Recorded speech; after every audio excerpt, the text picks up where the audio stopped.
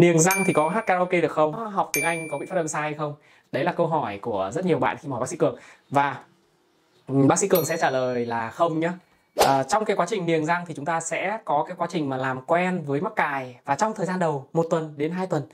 thì chúng ta sẽ làm quen những khí cụ mới. Và có thể là trong thời gian này thì cái âm giọng à, cái việc môi má lưỡi của chúng ta làm quen nên là chúng ta sẽ thấy là giọng nói của chúng ta có sự thay đổi. Nhưng à, một trong những bí mật đó là cái quá trình mà luyện tập quá trình nói đi nói lại trong một thời gian dài khi mà chúng ta đeo mắc cài thì nó sẽ giúp cho chúng ta trở về bình thường.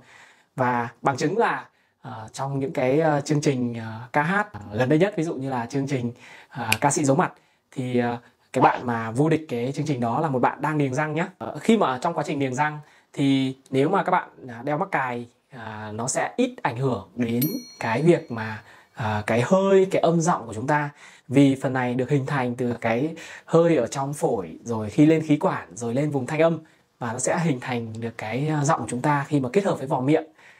À, vậy nên là à, khi mà chúng ta à, niềng răng thì với những cái khí cụ ở phía mặt ngoài răng thì sẽ ít à, bị ảnh hưởng nhiều hơn. Còn với những cái trường hợp mà với những khí cụ mà chúng ta đeo vào trong vỏ miệng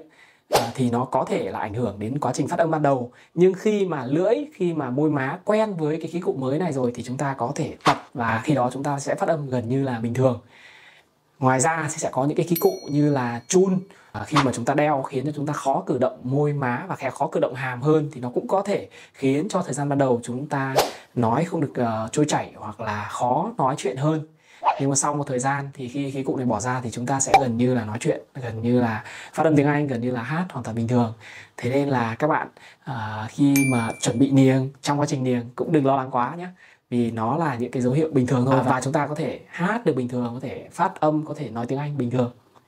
À, hy vọng là video này sẽ giúp các bạn, đặc biệt là các bạn đang niềng răng mà muốn ca hát và phát âm tiếng Anh nhá. Nếu các bạn thấy hay và ý nghĩa thì có thể like và share kênh giúp bác sĩ Cường và nhớ đăng ký vào nút quả chuông bên dưới nhé. Đăng ký nút quả chuông bên dưới để nhận những thông tin hữu ích đến từ kênh bác sĩ Cường sớm nhất nhá.